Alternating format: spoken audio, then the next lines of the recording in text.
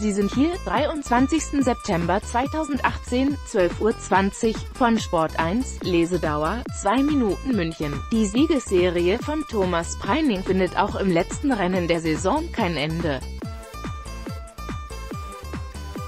Das Rennen wird nach einem Horrorcrash für mehrere Minuten unterbrochen. Thomas Preining hat auch das zweite Rennen am Hockenheimring dominiert. Der Österreicher feierte seinen fünften Sieg in Folge und verwies Teamkollegen Michael Armer-Müller erneut auf Rang 2.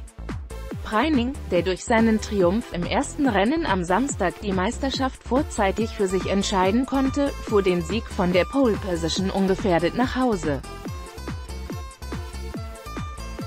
Dritter wurde der Niederländer Larry Tenvoorde, DATENCENTER. Die Fahrerwertung des Porsche Carrera Cup Champion Preining hatte nicht mit Titel gerechnet. Rennunterbrechung nach Horrorcast überschattet wurde das Rennen durch eine schwere Kollision zwischen dem US-Amerikaner Jakob Eitzen und dem Schweden Henrik Skog in der sechsten Runde. Das Rennen wurde für mehrere Minuten unterbrochen und schließlich hinter dem Safety Car wieder fortgesetzt.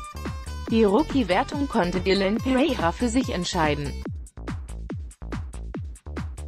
Der Luxemburger kam auf Rang 4 ins Ziel und setzte sich damit gegen seinen Konkurrenten Igor Waliko aus Polen durch, der nur Siebter wurde. Sport 1 ist die Nummer eine Plattform, wenn es um Live-Sport geht.